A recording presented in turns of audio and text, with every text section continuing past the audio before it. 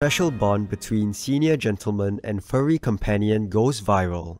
John, 86 years young, and Dolly, an adorable Pomeranian person, are best pals, enjoying each other's company 24 7. Lovely Dolly was rescued from a breeder by John's daughter, Katie, in 2019. In 2021, Katie moved her dad to live in the apartment next to her and gave him the job of looking after Dolly. Since then, the pair do everything together, such as dining out or eating takeout, walking to the park, napping, and almost everything else. John has found a new purpose in life in taking care of the gorgeous gal, and Dolly gets all the attention she wants. Katie's social media posts of Dad and Dolly's videos showing the duo's daily interactions have gone viral, with hundreds of positive comments. Katie is delighted that her father's relationship with Dolly keeps him active in body and mind. Our big thanks, Katie, John, and Dolly, for warming our hearts with this lovely story.